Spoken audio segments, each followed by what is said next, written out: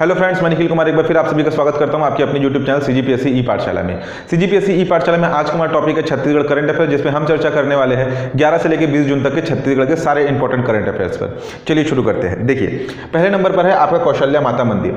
कौशल्या माता मंदिर, कौशल्या, जो कि राजा दशरथ की पत्नी और भगवान श्री राम की माता जी है। ठीक है? ये जो हमारा छत्तीसगढ़ वाला जो क्षेत्र है, इसे कौशल्या माता जी का आपका जन्म स्थान माना जाता है। ठीक है? तो ये जो आपके भगवान श्री राम की जो माता जी है, कौशल्या माता, उनका मंदिर स्थित है हमारे प्रदेश में रायपुर ज़िले के चंद्रपुरी में। रायपुर ज़िले के चंद्रपुरी में आपका कौशल्या माता का मंदिर स्थित है, ठीक है? इस मंदिर का जो निर्माण है, इस मंदिर का निर्माण आपके सोमवंशीय शासकों के द्वारा आठवीं से नौवीं सदी के आसपास कराया गया था, ठीक है? प्रदेश के सोमवंशीय शासकों के द्वारा इन कौशल्या माता मंदिर का निर्माण आपके आठवीं से नौवीं सदी के आसपास कराया गया था। देखिए, हमारे प्रदेश के रायपुर में जो आपके दूधाधारी मठ है तो दूधाधारी मठ के संतों के द्वारा इन कौशल्या माता के जन्म तिथि बताए जाने की एक प्रतियोगिता रखी गई थी। जिसमें भारत भर के विभिन्न संतों को इसमें आमंत्रित किया गया था। जो भी संत या जो भी व्यक्ति इनकी जन्म तिथि से संबंधित उचित शोध पत्र या उचित साक्ष्य प्रस्तुत करेगा, उसे 11 लाख रुपए की राशि प्रदान की जाएगी। ठीक है? तो इससे संबंधित आपके भारत की विभिन्न जगहों जगहों से इससे संबंधित काफ़ी प्रविष्टियाँ पहुँची दूधाधारी मठ में। और इसका जो आपके जो इनकी तिथि से संबंधित जो जानकारी है, वो एक समागम, जो संतों का जो समागम होता है तो दूधाधारी मठ में एक समागम आयोजित करके इनकी तिथि को बताया जाना था, ठीक है? लेकिन लॉकडाउन के कारण और आपके कोरोना संक्रमण के कारण जो लॉकडाउन हुए, उसके कारण ये समागम जो है, वो स्थगित कर दिया गया, ठीक है? तो फ़िलहाल अभी उनके जन्म तिथि से संबंधित आपकी जानकारी अभी सामने नहीं आई है। लेकिन ध्यान दीजिएगा, ये ये जो हमारे कौशल्या माता का जो मंदिर है, दावा किया जा रहा है कि देश का एकमात्र, देश का एकमात्र कौशल्या माता का मंदिर हमारे छत्तीसगढ़ में स्थित है। सोमवंशीय शासकों के द्वारा आठवीं से नौवीं सदी के आसपास निर्मित देश का एकमात्र कौशल्या माता का मंदिर हमारे प्रदेश के रायपुर ज़िले के चंदखुरी में मौजूद है। ठीक है? नेक्स्ट देखिए। राज्य की इकलौती त्रिमुखी सूर्य प्रतिमा। राज्य की इकलौती त्रिमुखी सूर्य प्रतिमा जो कि मौजूद है आपके बारसूर, दंतेवाड़ा में।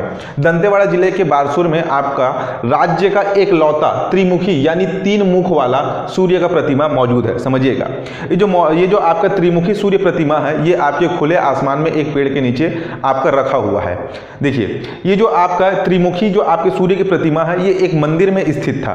मंदिर जो कि धराशाही होने के कगार में था। तो ग्रामवासियों के द्वारा इस त्रिमुखी सूर्य की प्रतिमा को बाहर ला करके एक कुसुम के पेड़ के नीचे रख दिया गया। समय बीतने के साथ साथ जो मंदिर है, वो मंदिर आपके टीलों में परिवर्तित हो गया।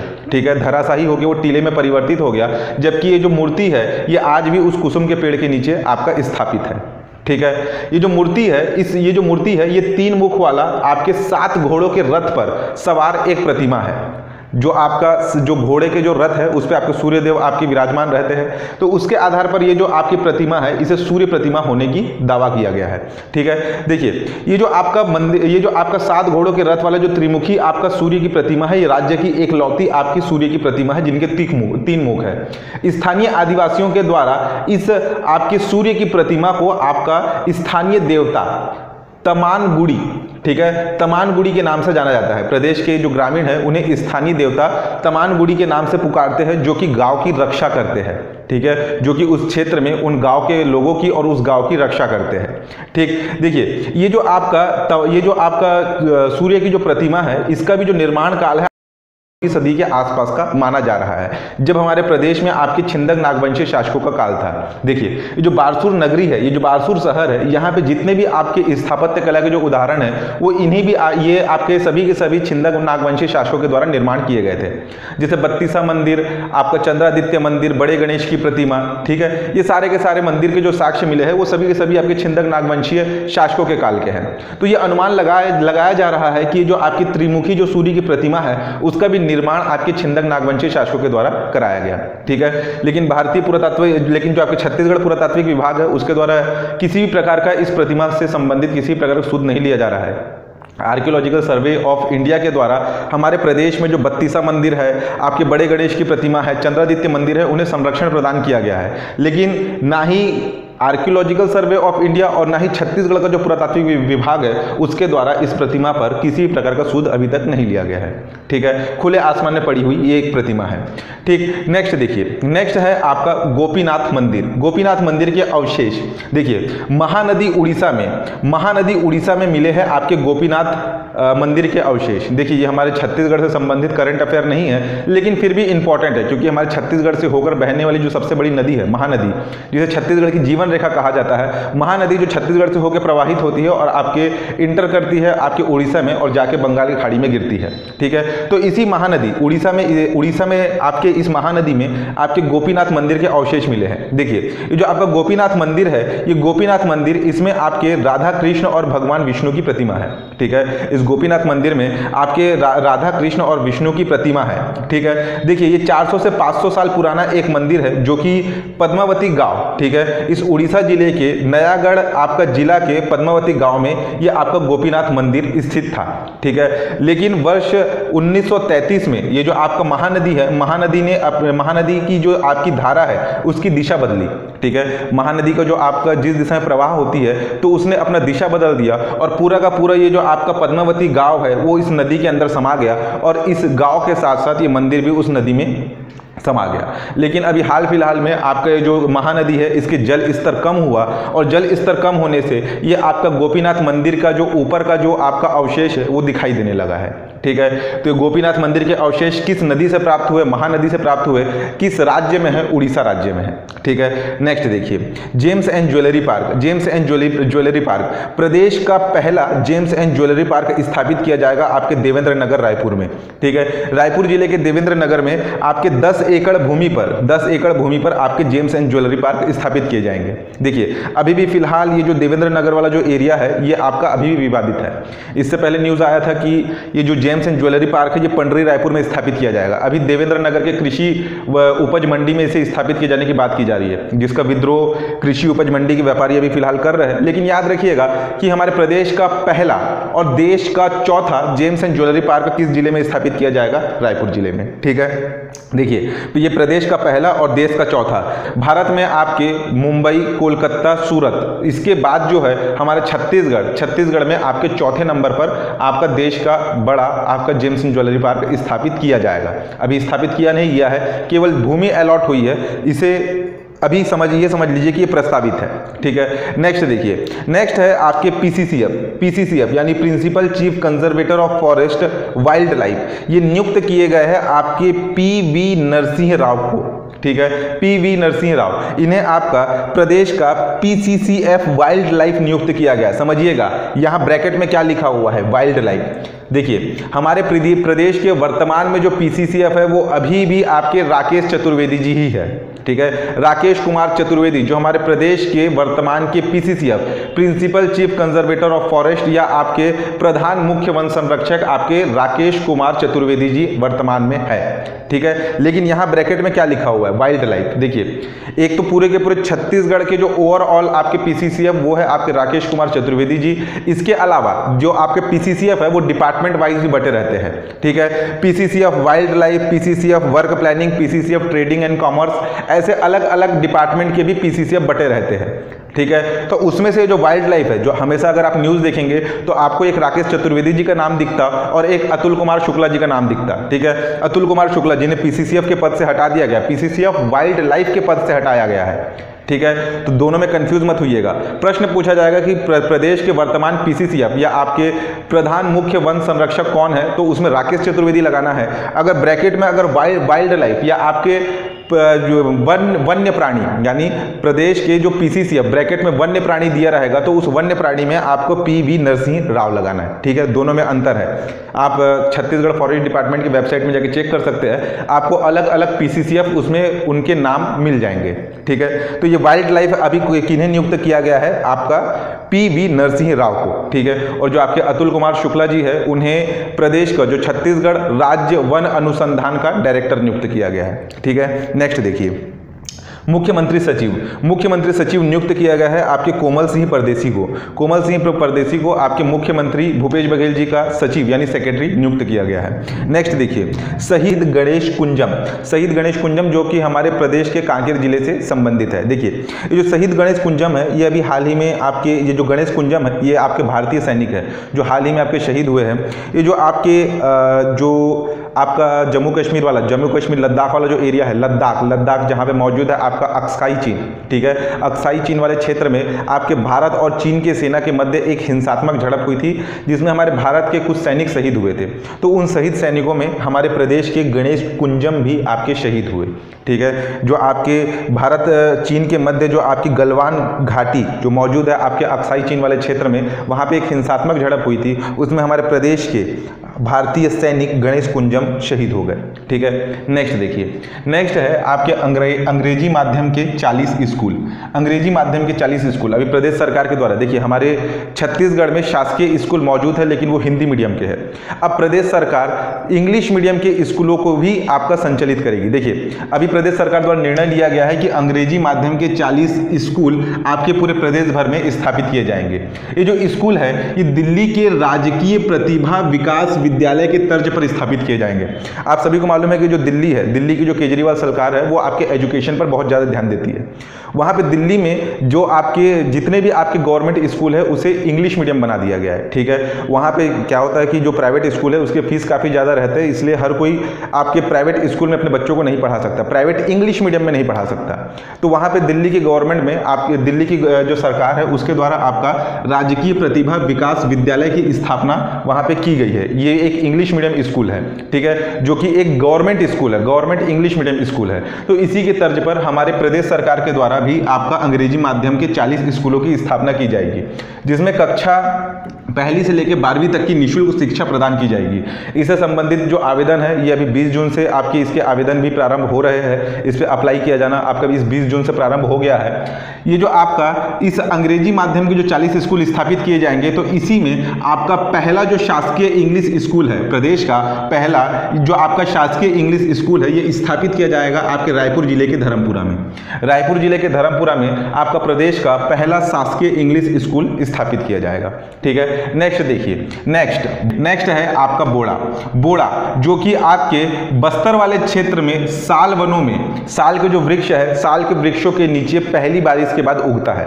बोड़ा, जो कि एक खाद्य पदार्थ ही है। बोड़ा और फुट्टू जो कि पहली बारिश के बाद जंगलों में उगते हैं। तो ये जो बोड़ा है, ये आपके साल के वृक्षों के नीचे, यानी साल वनों में पहली बारिश के बाद उगता है। ये जो आपका बोड़ा है, ये बहुतायत में मिलता है आपके सरगी जंगल, ठीक है? कोंडागांव ज़िले में स्थित जो सरगी जंगल है, इन सरगी जंगल में आपका ये बोड़ा बहुतायत में मिलता है, जिसे बस्तर की जो महिलाएँ हैं, जंगलों में जाकर के इन्हें बिनती है, ठीक है? देखिए, जो बोड़ा है, ये बोड़ा इस साल दो हज़ार रुपये प्रति किलो की दर से बिक रहा है, ठीक है? बस्तर में जो आपका उगने वाला जो बोड़ा है, ये दो हज़ार प्रति किलो की दर से इस साल बिक रहा है, ठीक है? देखिए, लघु वन उपजों की आपकी न्यूनतम समर्थन मूल्य पर खरीदी। आप सभी को मालूम है, जैसे कि कंटिन्यू अपडेट हो रहा है, लास्ट करंट अफेयर में हमने देखा था कि प्रदेश सरकार के द्वारा 25 लघु वन उपजों की खरीदी न्यूनतम समर्थन मूल्य पर की जाएगी। लेकिन अब उस 25 लघु वनोपजों को बढ़ा करके 31 लघु वनोपज कर दिया गया है। यानी प्रदेश सरकार के द्वारा अब 31 लघु वनोपजों की खरीदी न्यूनतम समर्थन मूल्य पर की जाएगी। ठीक है? 25 लघु वनोपज हम देख चुके हैं। इन 25 के अलावा है आपके वन तुलसी बीज, वन जीरा बीज इमली बीज, बहेड़ा कचरिया, हर्रा कचरिया और आपका नीम बीज, ठीक है? तो ये 25 और आपका ये छः इकतीस। इन 31 लघु वन उपजों की खरीदी आपके न्यूनतम समर्थन मूल्य पर प्रदेश सरकार करेगी, ठीक है? नेक्स्ट देखिए। मुख्यमंत्री सुगम सड़क योजना। मुख्यमंत्री सुगम सड़क योजना, जिसे प्रारंभ किया गया है आपके मुख्यमंत्री भूपेश बघेल जी के द्वारा 19 जून 2020 ठीक है? 19 जून 2020 को इस मुख्यमंत्री सुगम सड़क योजना का शुभारंभ किया गया है। ये जो आपका मुख्यमंत्री सुगम सड़क योजना है, इसका मुख्य उद्देश्य शासकीय भवन, शासकीय कार्यालय एवं सार्वजनिक स्थलों को बारह बारहमासी सड़कों से जोड़ना है। देखिए, आप सभी को मालूम है कि हमारे प्रदेश में अभी वर्तमान में आपका प्रधानमंत्री सड़क योजना, प्रधानमंत्री ग्राम सड़क योजना योजना, मुख्यमंत्री ग्राम सड़क योजना, ऐसे चल रहा है। लेकिन ये जो, ये क्या है? ये मुख्यमंत्री सुगम सड़क योजना है, जो मुख्यतः शासकीय भवन, शासकीय कार्यालय एवं सार्वजनिक स्थलों को बारहमासी सड़कों से जोड़ने के लिए ये प्रारंभ किया गया है। देखिए, इस साल इस मुख्यमंत्री सुगम सड़क योजना के अंतर्गत आपका इस साल 200 करोड़ रुपए का व्यय किया जा रहा है, जिसमें आपका 1116 कार्य पूर्ण करने का लक्ष्य रखा गया है। अब ये कार्य क्या है? 1116 कार्य, ये तो फ़िलहाल पता नहीं। लेकिन इस साल 200 करोड़ रुपए का व्यय करके 1116 कार्य पूर्ण करने का लक्ष्य रखा गया है इस मुख्यमंत्री सुगम सड़क योजना के अंतर्गत। नेक्स्ट देखिए, हाथियों की संख्या में वृद्धि। हाथियों की संख्या में वृद्धि। अभी पिछले 10 वर्षों में प्रदेश में हाथियों की संख्या 225 से बढ़ करके 290 हो गई है। देखिए, ये आंकड़े अभी सामने आए हैं। जैसे अभी आप अगर करंट न्यूज़पेपर पढ़ रहे होंगे तो आप सभी को पता होगा कि अभी लगातार हमारे प्रदेश में हाथी, हाथियों की मृत्यु हो रही है। उन्हीं हाथियों की मृत्यु के कारण ही आपके जो PCC of wild life Atul Kumar Shukla है, उन्हें हटाया गया है। और आपके पी नरसिंह राव को आपका पीसीसीएफ वाइल्ड लाइफ बनाया गया है। तो इसी समय आपके वन विभाग के द्वारा एक आंकड़े जारी किए गए हैं कि हमारे प्रदेश में जो हाथियों की संख्या है, पिछले 10 वर्षों में 225 से बढ़कर हो गई है 290 ठीक है? इसे थोड़ा सा याद रखना है। देखिए, प्राचीन सिक्का। प्राचीन सिक्का, ये प्राप्त हुआ है आपके बिंज बिरझारपुर ग्राम पंचायत धमधा दुर्ग से।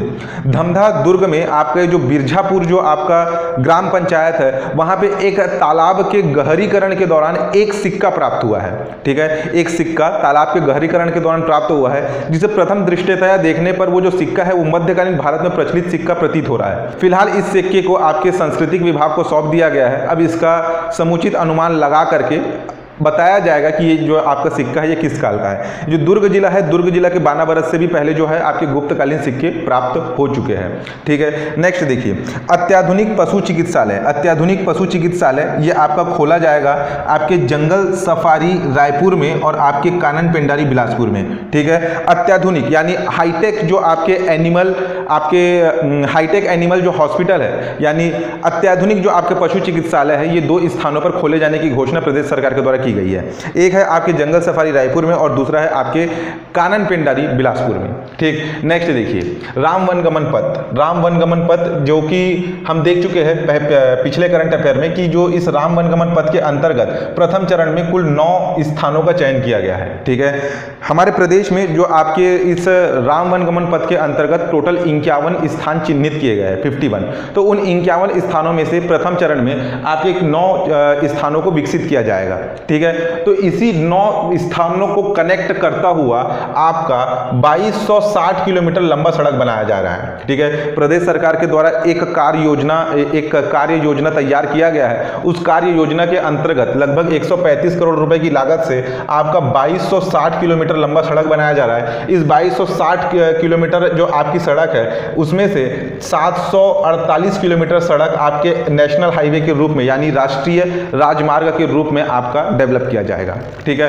तो ध्यान दीजिएगा कि जो आपका राम वन गमन पथ है, राम वन गमन पथ के अंतर्गत, उसके कार्य योजना के अंतर्गत कितना किलोमीटर लंबा सड़क तैयार किया जा रहा है, कितना किलोमीटर लंबा सड़क विकसित किया जा रहा है तो ध्यान दीजिएगा वो है आपका 2260 किलोमीटर। ठीक है? नेक्स्ट देखिए नेक्स्ट है आपका रोका छेका अभियान। रोका छेका अभियान, देखिए, जो मुख्यमंत्री भूपेश बघेल जी के द्वारा प्रदेश के जो किसान है उनसे अपील की गई है ये जो रोका छेका अभियान है ये आपके खरीफ फ़सलों की सुरक्षा और पशुओं की खुलाई पशुओं की खुले में चराई को रोक लगाने के लिए ये अभियान आपका मुख्यमंत्री भूपेश बघेल जी के द्वारा आपका किसानों के सहयोग से इसे चलाया जाएगा। देखिए ये जो आ, ये जो आपके पशु है पशु जो कि खुले में चराई करते हैं यानी जो किसान जो आपके फ़सल उगाते हैं तो आपका हर साल जो है ये जो मवेशी है, वो आपके खेतों में घुस करके फ़सलों को चर लेते हैं, ठीक है? जिससे किसानों को नुकसान होता है। तो इस साल जो है, इन खरीफ फ़सलों की सुरक्षा और पशुओं की खुले में चराई पर रोक लगाने के लिए मुख्यमंत्री भूपेश बघेल जी के द्वारा अपील की गई है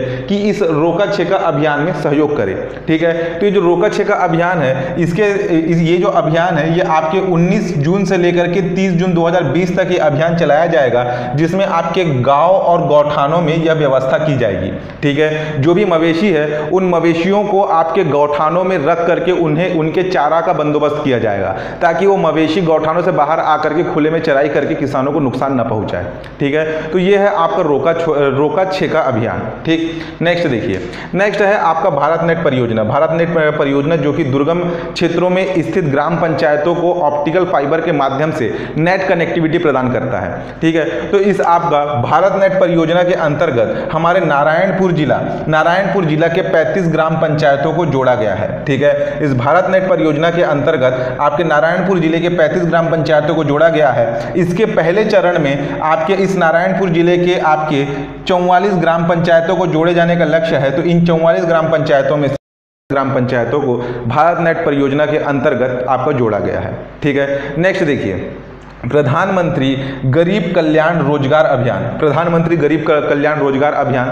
देखिए, ये तो फ़िलहाल हमारे छत्तीसगढ़ का करंट अफेयर नहीं है, लेकिन फिर भी इंपॉर्टेंट है। देखिए, ये जो आपका प्रधानमंत्री गरीब कल्याण रोज़गार अभियान है, इसका शुभारंभ किया गया आपके 20 जून 2020 को। 20 जून 2020 को इस प्रधानमंत्री गरीब कल्याण रोज़गार अभियान को शुभारंभ किया गया। कहाँ से किया गया? तो आपके प्रधानमंत्री नरेंद्र मोदी जी के द्वारा आपके बिहार राज्य के खगड़िया ज़िले के तेलीहार बिहार ग्राम से इस योजना या इस अभियान की शुरुआत की गई। इस अभियान का उद्देश्य क्या है? इस अभियान का उद्देश्य प्रवासी मजदूरों को गाँव में ही रोज़गार उपलब्ध कराना। ठीक है? प्रवासी मजदूरों को, उनकी योग्यता उनकी योग्यता के आधार पर प्रवासी मजदूरों को उनके गाँव में ही रोज़गार उपलब्ध कराना जैसे कि आप सभी को मालूम है कि कोरोना संक्रमण के बाद बहुत से जो प्रवासी मजदूर है, वो अलग अलग राज्यों में फंसे हुए थे, जिसके बाद लॉकडाउन खुला और सभी के सभी अपने गाँव में वापस आ गए। तो ये जो प्रवासी मजदूर है, इन्हें अपना आजीविका के लिए दूसरे राज्यों में जाना ना पड़े, इसके लिए जो प्रधानमंत्री आपके नरेंद्र मोदी जी के द्वारा एक अभियान लाया गया है, एक योजना लाया गया है, प्रधानमंत्री गरीब कल्याण रोज़गार योजना। इस योजना के अंतर्गत आपके जो प्रवासी मजदूर है, उन्हें, उन्हीं के गाँव में रोज़गार उपलब्ध कराया जाएगा। ठीक है? इसके अंतर्गत जो है, आपके छह राज्यों के 116 जिलों को शामिल किया गया है। ठीक है? छह राज्यों के 116 जिलों को शामिल किया गया है और इन छह राज्यों में, इन छह राज्यों में हमारा छत्तीसगढ़ शामिल नहीं है। इसे ध्यान देना है। ठीक है? ये जो आपका प्रधानमंत्री गरीब कल्याण रोज़गार जो अभियान है, इसमें हमारा छत्तीसगढ़ शामिल नहीं है। छह राज्यों के 116 जिलों को शामिल किया गया है। वो छह राज्य कौन कौन से हैं? छह राज्यों में एक है बिहार, दूसरा है उत्तर प्रदेश, तीसरा है आपका मध्य प्रदेश, चौथा है राजस्थान, पांचवा है उड़ीसा और छठवा है आपका झारखंड। ठीक है? जिसमें से सर्वाधिक ज़िले शामिल है आपके बिहार के। बिहार के बत्तीस जिलों को शामिल किया गया है और सबसे कम ज़िले शामिल है आपके झारखंड से। झारखंड के केवल तीन जिलों को शामिल किया गया है। ठीक है? ये योजना को लेकर के भी काफ़ी मुद्दे उठाए जा रहे हैं क्योंकि लॉकडाउन खत्म होने के बाद जो हमारे प्रदेश के जो प्रवासी मजदूर, लगभग ढाई लाख से ज़्यादा प्रवासी मजदूर हमारे प्रदेश में भी वापस आए हैं, ठीक है? तो इतनी बड़ी संख्या में जो आपके प्रवासी मजदूर वापस लौटे, उसके बावजूद भी हमारे छत्तीसगढ़ को शामिल नहीं किया गया, इसलिए ये अभियान से भी संबंधित थोड़ा सा विवाद उत्पन्न हुआ था, ठीक है? तो ये जो आपका प्रधानमंत्री गरीब कल्याण रोज़गार अभियान के तहत आपका लगभग पचास करोड़ रुपए की राशि व्यय की जा रही है इन छह राज्यों के 116 ज़िले में। ठीक है? तो इसको थोड़ा याद रखिएगा। डेट किस डेट में इसका शुभारंभ किया गया? ठीक, किस ग्राम से इसका शुभारंभ किया गया? और इसके अंतर्गत कौन कौन से राज्य शामिल है? ठीक है? बिहार के सर्वाधिक ज़िले शामिल है और झारखंड के सबसे कम। ठीक तो आज का वीडियो हम यहीं एंड करते हैं। किसी प्रकार का डाउट हो तो आप नीचे कमेंट करके पूछ सकते हैं। चैनल पर नए तो चैनल को सब्सक्राइब कर दीजिएगा लाइक और शेयर ज़रूर कीजिएगा। धन्यवाद।